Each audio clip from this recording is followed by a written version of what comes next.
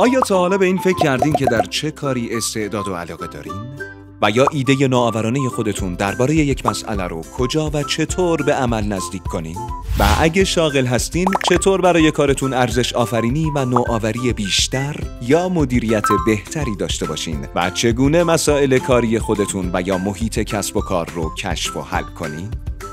اگه شما به دنبال برنامه ریزی برای رشد فردیتون و یا به دنبال یک شبکه تعاملی نخبگانی برای ارائه ایده ها و حل مسائل هستین یا اینکه به دنبال خلاقیت بیشتر و نوآفرینی در حوزه کسب و کار هستین می‌تونین وارد چرخه کسب و تور بشین و با شتابی بیشتر به سمت اهداف بلندتون پرتاب بشین.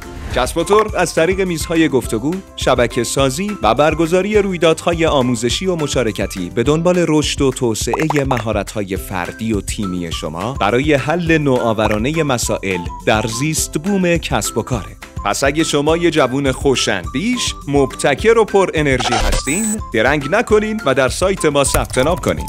رزومه و ایده نوآورانه خودتون رو برای ما ارسال کنین در آزمونهای ورودی شرکت کنین و با یک مصاحبه حرفه‌ای به جمع نخبگان شهر بپیوندید شاید قرار شما در آینده نچندان دور یک مدیر، یک کارآفرین و یا یک بازوی نخبگانی موفق باشین.